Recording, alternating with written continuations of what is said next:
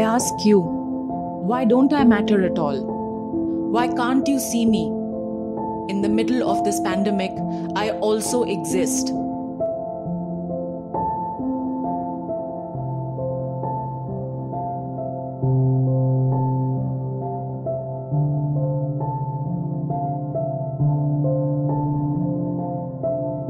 A group of migrant laborers have left Baramulla in North Kashmir to somehow get back home to Mirzapur in Uttar Pradesh.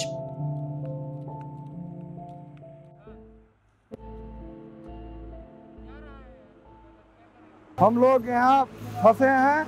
हम लोग का ना यहाँ का सरकार कोई मदद दे रही है, ना वहाँ का सरकार। हम लोग पैदल जा रहे हैं, तीन महीने से फंसे हैं। और जो लाया था, हमारे गाँव का था धोखेबाज। उसका नाम था बेचूलाल, हम लोग को फंसा दिया इधर। एमन साल कंपनी में थे, एयरपोर्ट में। कोई हम लोग को सुविधा नहीं दिया, वहाँ एक बेला खाना खाते थे, एक बेला नहीं। और हम लोग को कैसे कैसे बाहर निकले, हम लोग को कोई सुविधा नहीं मिला। यहाँ भी अभी पैदल चल रहे हैं। मोदी क्या मोदी आके यहाँ देख रहे हैं? हम लोग पैदल चल रहे हैं, झक मार रहे हैं। मीडिया वाला है कि वो लोग के देश में खबर पहुँचा रहा है, और कौन हम लोग को पूछने वाला है? यहाँ का फौजी भी नहीं पूछता है। डीसी के पास जा पंद्रह दिन से हम लोग चक्कर मारते मारते हम लोग का हालत बिगड़ गया। डीसी यहाँ का नहीं सुन रहा है। एक मई से। है? बोलता है ये कागज़ है वो कागज़ जा रहा है यहाँ जा रहा है यहाँ यहाँ का सब ऐसे ही हम लोग को फजूर का फंसा के रखा है। सोच रहा है मजदूर चला जाएगा तो काम कौन करेगा? हम लोग के मजदूर को वजह से काम चलता है फिर भी हम लोग ये लोग पूरी सरकार के हम बोलते हैं। चलाए हम मरने से अच्छा है पैदल ही मरेंगे। कोई वो नहीं है।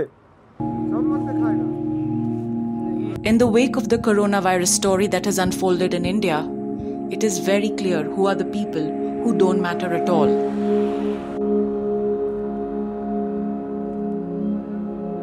सुभाष मेरा नाम है और हम उत्तर प्रदेश के रहने वाले हैं जिला मिर्जापुर ग्राम लेड़ू के हैं हम यहाँ 22 तारीख से लॉकडाउन जब से लगा है आए थे काम करने के लिए और हम लोग 10-11 बंदे हैं जब से लॉकडाउन लगा तब से हमारा कोई सुनवाई नहीं हुआ।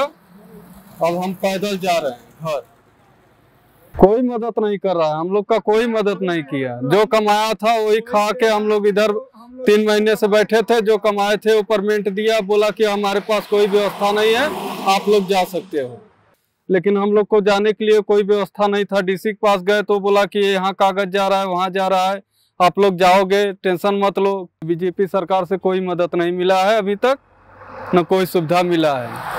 पैगाम क्या है? हम भूखे मर रहे हैं, पैगाम क्या है? वो खुद सरकार है, ऐसा शासन लगा रहा है, जिसको बीमारी है, वो भी मर रहा है, जिसको बीमारी नहीं है वो भी मर रहा है।